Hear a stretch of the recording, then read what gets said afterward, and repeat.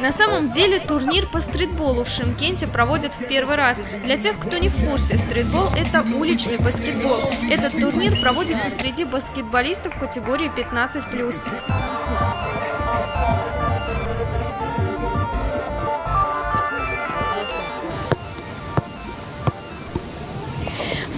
Году стритбол вошел в состав Олимпийских игр, а это значит, что у Казахстана есть все шансы на участие. К сожалению, в Шимкенте он только начинает набирать обороты. Сегодняшний молодежный турнир – шаг к продвижению этого вида спорта.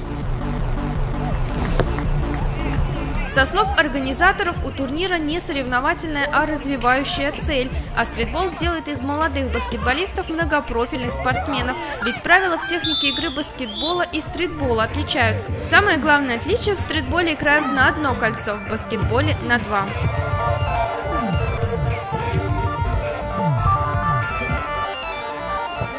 Турнире принимают участие 35 спортсменов, объединенных в 9 команд. В течение всего дня они соревнуются и, как говорят сами участники, не за грамоты, а за интерес. Этот турнир для них хорошая тренировка по любому виду игры. Ведь для многих из них баскетбол давно занимает главное участие в жизни.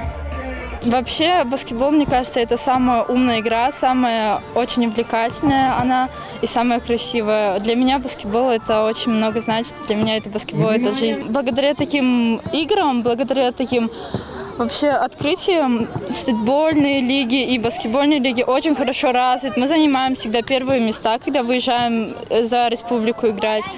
Всегда первое место Шимкент. Максимальное количество игроков в команде по стритболу – 4 человека. Система, в которой играют спортсмены, называется 3x3.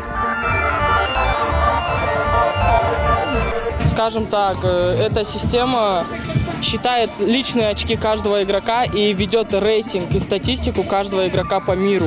Открыли для каждого из них свой профиль в, системе 3x3.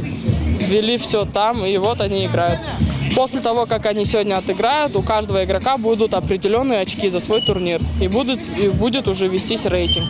Устроенный турнир – отличная возможность быть в форме во все оружие. На днях сборная Южно-Казахстанской области по баскетболу отправляется на республиканский турнир в Талдыкорган.